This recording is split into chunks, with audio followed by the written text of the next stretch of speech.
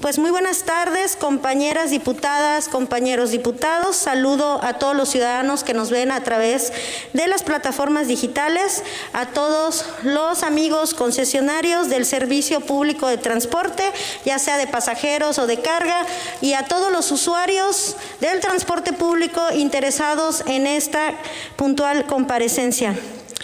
Eh, estoy segura que le están dando seguimiento puntual a esta transmisión, en la cual nos acompaña el contador público Jorge Pérez Pérez, director general del Instituto de Movilidad del Estado de Quintana Roo, y Movecro, quien el día de hoy viene a exponer los pormenores del Estado en general que guarda la administración del Imovecro. También quiero aprovechar para puntualizar que en el ámbito legislativo eh, federal y estatal ya celebramos que se contemple a la movilidad como un derecho humano. La Constitución Federal ya lo contempla en el artículo, lo establece en su artículo cuarto constitucional y nuestra Constitución estatal en su artículo 19. Recordarles que el mandato federal es que la Cámara de Diputados tiene 180 días para emitir la nueva ley general en materia de movilidad y seguridad vial.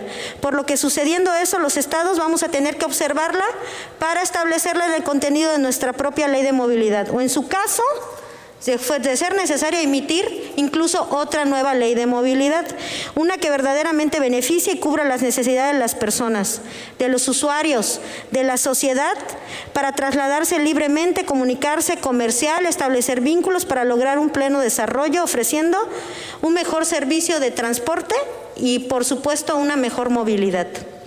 También quiero reiterarle a los ciudadanos que mi compromiso es con ustedes, lograr que la legislación en materia de movilidad sea apegada a la realidad, que sea operativa, aplicativa, que resuelva los problemas que se suscitan y que siempre se defienda y vele por los derechos de todos los trabajadores del servicio público y privado de transporte en nuestra entidad.